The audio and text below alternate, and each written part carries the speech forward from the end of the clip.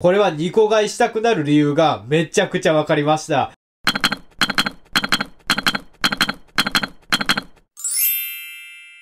皆さんこんにちは。自称レゴブルダーはい、今回紹介するレゴはこちら。はい、こちら。レゴスターウォーズクローントルーパー501部隊です。はい、今回の動画ではこちらを組み立ててレビューしますはい、ついにこちらのセットを組み立てる時がやってまいりました。いや、もう僕もこれを組み立てる時が来て、めちゃくちゃワクワクしてます。ちなみにこちらは2年前に発売されたレゴスターウォーズになってます。あの、発売当初これがすごい値上がりしてて、僕もめちゃくちゃびっくりしたんですけど、1年前ぐらいから3000円前後で売られてたので、僕は活動休止中だったんですけど、その時に買いました。あの、ツイッターですごい人はこれを100個ぐらい買ってたのを覚えてます。この501隊のビークルがめちゃめちゃかっこいいです。で、あとはバトルドロイドのミニフィグが2体入ってるので、バトルドロイドが好きな僕にとっては結構買いなセットです。はい、箱の後ろはこのようになってます。では、開けましょう。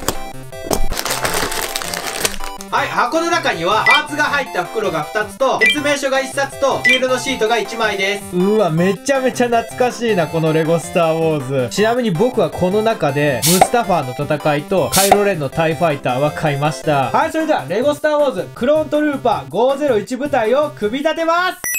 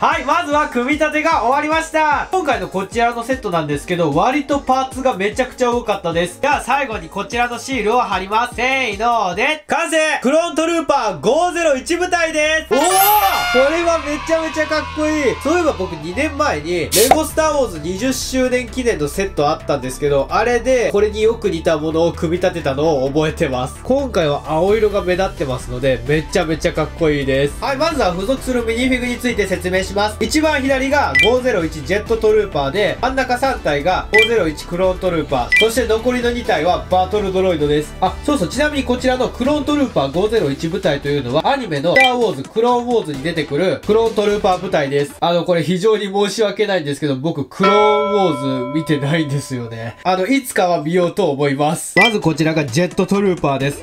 右手のライフルがすごい目立ちます。はい、全体はこのようになってます。一番目立つのは背中のバックパックですね。これが結構かっこいいですよね。あ、そういえばボバフェットもジャンゴフェットも同じものをつけてました。ちなみに普通のものと比較するとこんな感じです。基本的にヘルメットのプリントパーツが違ったり、あとは胴体のパーツが全く違います。はい、こちらが501クローントルーパーです。全体はこんな感じです。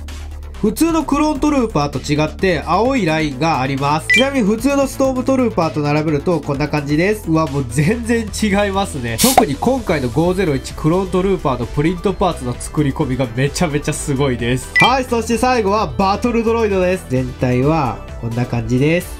いや、僕、バトルドロイドめちゃめちゃ好きなので、これが入ってるのがすごい嬉しいです。ちなみに僕の家にはバトルドロイドが1体あります。基本的には同じものです。はい、では続いてはこちらの501部隊のマシンについて説明します。左が BARC スピーダーで、右が ATRT ウォーカーです。ではまずこちらの BARC スピーダーを見ましょう。正面から見るとこんな感じで、側面はこのようになってます。これ個人的にスーパー戦隊の10に出てもおかしくないかも。後ろはこのようになってます。はい、ではアップで見ると、こんな感じです。操縦席を近くで見るとこんな感じです。今回のハンドルは面白い形をしてます。そして後ろにはライフルが2つもついてます。では、クローントルーパーを乗せます。乗せるときは1回ハンドルを前に倒して、ミニフィグを座らせて、レバーを握らせます。はい、乗せてみるとこんな感じです。このクローントルーパーが色合い的にめちゃくちゃ似合います。そして先頭のこの赤い部分はミサイルになってます。では、ミサイルを発射します。はい、続いてはこちらの ATRT ウォーカーです。近くで見ましょう。まずこちらが正面部分です。この正面のシールがめちゃめちゃかっこいいです。特にこの501のシールがめちゃめちゃかっこいいです。なんか造形が2年前に作った ATRT ウォーカーとちょっと似てますね。後ろから見るとこのようになってます。これが多分双眼鏡で、ここにライフルを収納できます。そして操縦席はこのようになってます。ちなみに足はこのように稼働します。足がめちゃくちゃ動くので、どんなポーズも決まります。つま先もこんな感じで動きます。あ、おちょっと、つま先もこんな感じで動きます。こんな感じでポーズを取らせても安定します。では、ミニフィグを乗せます。座らせて、ハンドルを握らせます。で、ライフルをマウント。